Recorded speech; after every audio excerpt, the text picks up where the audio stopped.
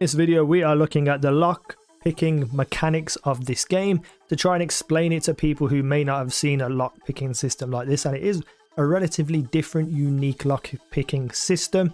So I'm going to try my best to try and explain to you the idea of it, the concept of it, and how it works.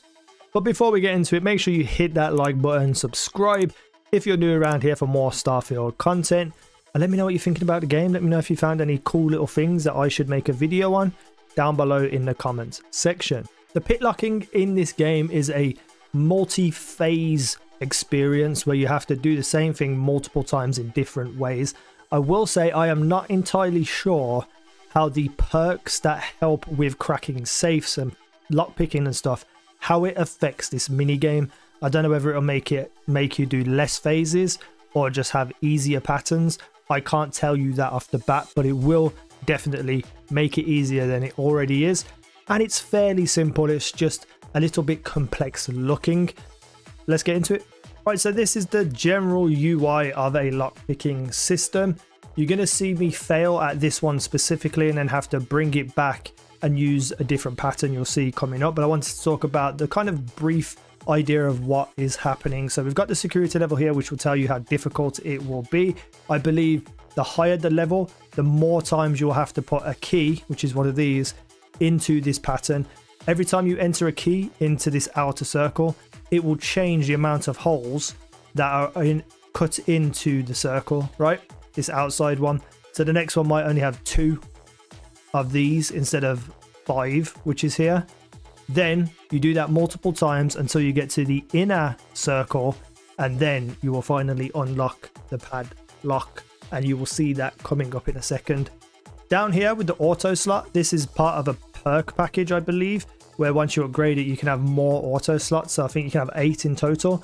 And I believe if you just press Y once or something, it will either automatically unlock the outside one or just automatically unlock it altogether.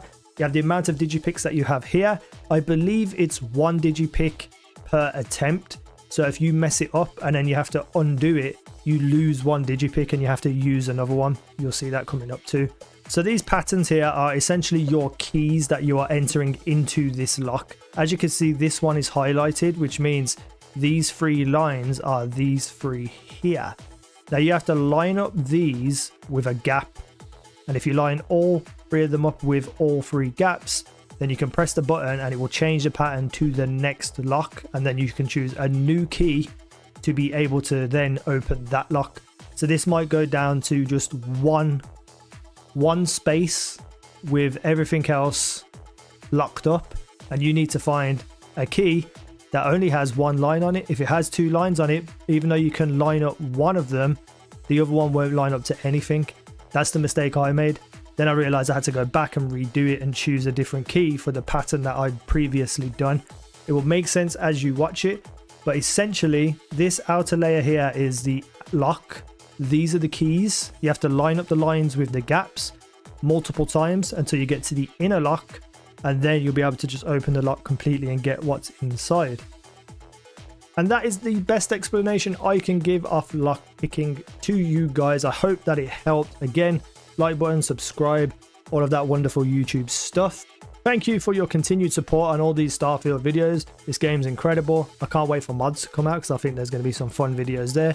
Let me know what you're thinking down below. Thank you for watching. I've been easy now. You guys have been awesome.